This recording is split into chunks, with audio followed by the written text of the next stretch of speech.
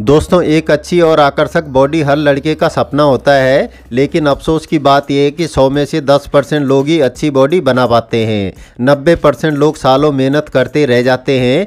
दिमाग तब खराब होता है जब इतनी मेहनत करने के बाद भी कोई रिस्पॉन्स नहीं मिलता है। बॉडी की ग्रोथ एक जगह पर अटक जाती है। हाँ दोस्तों, दिमाग से मुझे एक चीज़ याद आई कि बॉडी बनाते समय हमें सिर्फ़ पागलों की तरह मेहनत करने से काम नहीं चलेगा।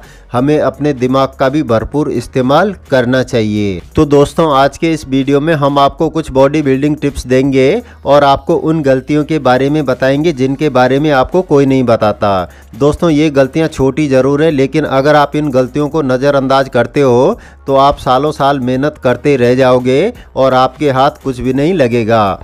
तो दोस्तों, एक बात मैं आपको गारंटी के साथ कह सकता हूँ कि अगर आपने आज का ये वीडियो पूरा देखकर समझ लिया, कुछ गलतियों में सुधार करके जो ज़रूरी टिप्स हैं, उनको फॉलो कर लिया तो जो रिज़ल्ट आपको पिछले एक साल में नहीं मिले हैं, वो रिज़ल्ट आपको मात्र तीन महीने में देखने को मिलेंगे।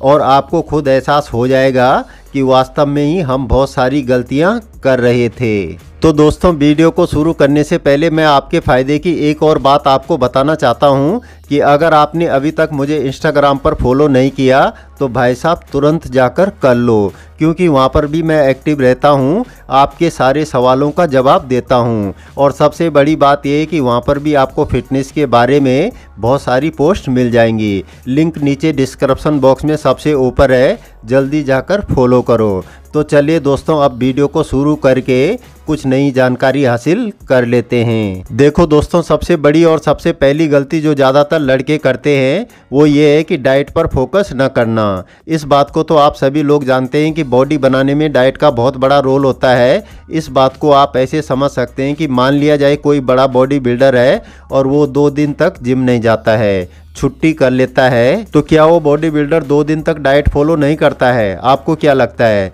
कि वो दो दिन तक कुछ भी उल्टा सीधा खा लेता होगा? अगर आप ऐसा सोचते हैं तो ये आपकी सबसे बड़ी गलती है। क्योंकि दोस्तों, कोई भी प्रोफेशनल बॉडी बिल्डर अगर किसी कारणवश दो चार दिन जिम नहीं जाता है तो वो अपनी डाइट को कभी नहीं छोड़ता है। और ईमानदारी से डाइट को फॉलो करता है। अब दोस्तों, दूसरी बात मैं आपको बताऊँ कि आपकी दिन भर जो भी डाइट होती है, उसमें 50 परसेंट कार्बोहाइड्रेट 30 परसेंट प्रोटीन और 20 परसेंट हेल्दी फैट होना चाहिए। ये सब कैसे होगा, वो भी मैं आपको बता देता हूँ। जैसे कि आप दिन भर में पाँच से छः मील लेते हो तो एक मील में आप सौ ग्राम पनीर ऐड कर सकते हैं। किसी मील में आप दो कटोरी दाल ले सकते हैं। और दोस्तों, ठीक इसी तरीके से किसी मील में आप दो गिलास दूध के साथ में 10 बादाम ले सकते हैं। एक मील में आप 50 ग्राम सोया चंक को ऐड कर सकते हैं। प्री वर्कआउट में आप 250 ग्राम दही के साथ में दो उबले हुए आलू ले सकते हैं। पोस्ट वर्कआउट में आप छः एग वाइट या फिर एक स्कूप बे प्रोटीन के साथ में दो केले ले सकते हैं। तो इस तरीके से आप हर मील में प्रोटीन ऐड कर सकते हैं। बहुत ही ज़्यादा सिंपल और आसान तरीका है, लेकिन काफ़ी लोगों को समझ में नहीं आता है। या फिर उन्हें पता ही नहीं होता है। अब यहाँ पर आप लोग क्या गलती करते हो कि किसी मील में तो आपका सिर्फ़ कार्बोहाइड्रेट होता है और किसी मील में सिर्फ़ फैट होता है। यानी ज़्यादातर मील से प्रोटीन गायब होता है। तो दोस्तों, ये छोटी छोटी बातें हैं। इन पर ध्यान देना बहुत ज़रूरी है। अब दोस्तों, यहाँ पर दूसरी गलती आप लोग क्या करते हो कि प्रोग्रेसिव ओवरलोड नहीं लगाते हो। यहाँ पर मैं आपको थोड़ा अच्छी तरह से समझा देता हूँ। उदाहरण के तौर पर मान लिया जाए कि आप चेस्ट का वर्कआउट कर रहे हो। पहला सेट आपने बारवल बेंच प्रेस का 30 किलो से लगाया। अब ज़्यादातर लड़के क्या गलती करते हैं कि दूसरे सेट को फिर से 30 किलो से लगा लेते हैं।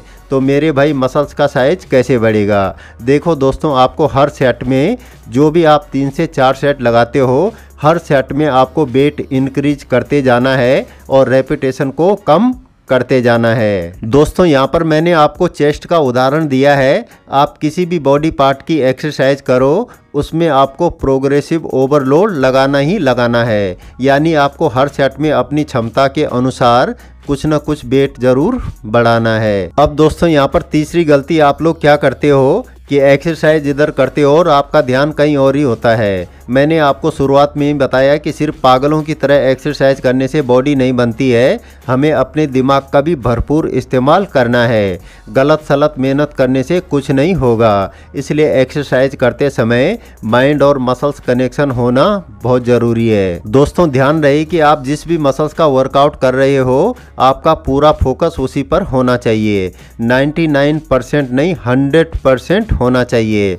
तो दोस्तों, उम्मीद करता हूँ कि हमेशा की तरह आज की वीडियो से भी आपको कुछ सीखने को मिला होगा। ये वीडियो यहीं पर समाप्त होता है। मिलते हैं अगले वीडियो में। तब तक के लिए जय हिंद।